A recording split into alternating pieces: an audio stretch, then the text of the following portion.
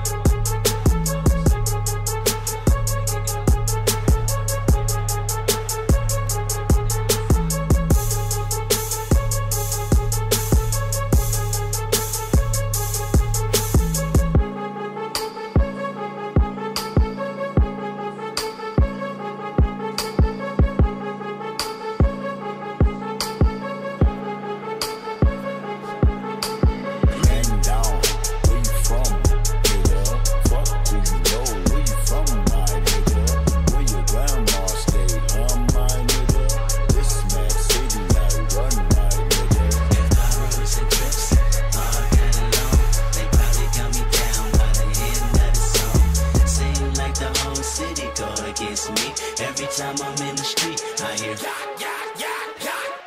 Touchdown, Tyler Lockett. He's got. He's going, and they need to be on the same page going forward. Second down, eight. Water stands and throws. Tough pass, far side. It's caught. Lockett breaks a tackle. Oh, so dangerous. And he's tripped up. To come into his own over the last few Now, this is Water's 16th play. Goes up top. Lockett. Bingo. Touchdown. Kansas State. Austin looked like a well-oiled machine. Waters right at his goal line. He wants the middle of the field. Throws it up for grabs. Lockett. 25, 20, 15, 10. Touchdown, Kansas State.